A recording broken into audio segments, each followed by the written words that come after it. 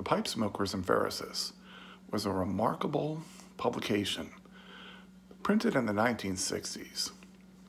I'd like to talk about that while enjoying a pipe.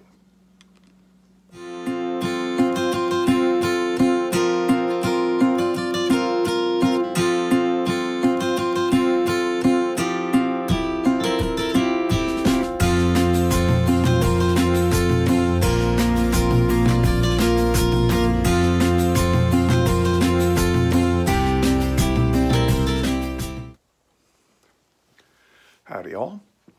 Virginia Piper here. This morning I checked out Pipe Professor's recent video called A Changing Tide.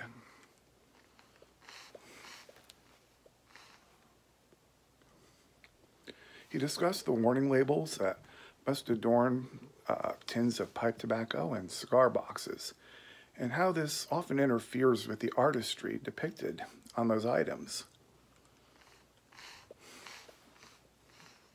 I totally agree. I also agree with his assessment that the messages on those warning labels are hardly deterrents to pipe smoking.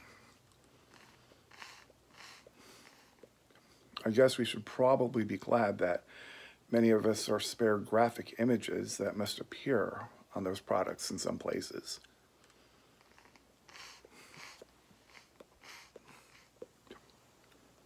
The pipe professor described The Pipe Smoker's Ephemeris, a publication containing articles, poems, stories, and letters that celebrated this pastime.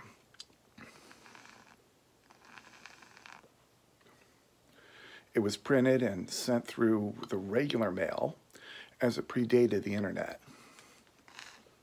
Subscribers often submitted material for the publication.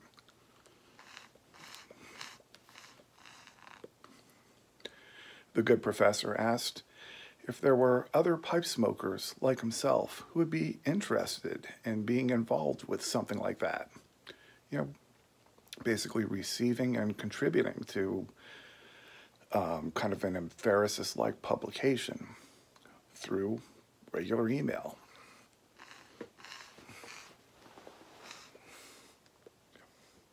Well, numerous online pipe smoking communities already function this way using forums. But upon further thought, yeah, I'm thinking I'm, I am a very tactile person, and I enjoy going through a catalog from pipes and cigars more so than um, just going through their website.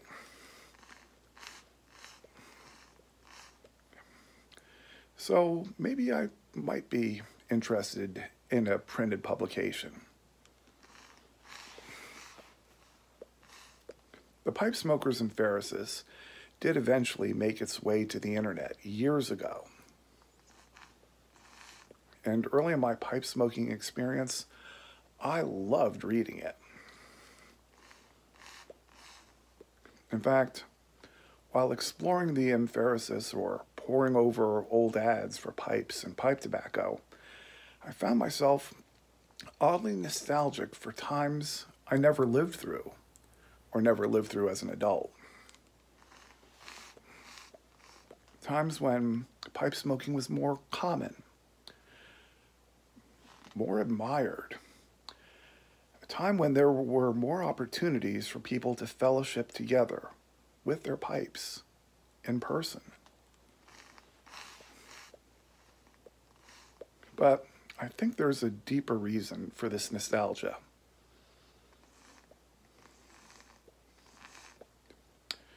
See, not only is a pipe used for enjoyment, like it is right now, it's also been a tool for reflection and thinking. And there was a whole lot more of that in times past than there is today, where people often react and work exclusively off their feelings. And you know, there has been a marked decrease in pipe smoking in recent years. And I can't help but see a correlation between the two trends. But there is an upside. The internet has allowed us to explore pipes and pipe tobacco from craftsmen all over the world. And it has allowed us to fellowship with pipe smokers from all over the world. And that is a good thing. Have a good one, y'all.